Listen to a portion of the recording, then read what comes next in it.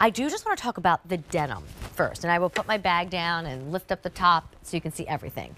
Um, they sit like right around your, right below your belly button, I should say. So my belly button is right here, and then your jean lands right there. You have traditional belt loops and zipper and button, and the coin pocket as well as the left and the right hip pocket. And then in the back, don't mind my mic pack, but you're going to have two um, pockets in the back. The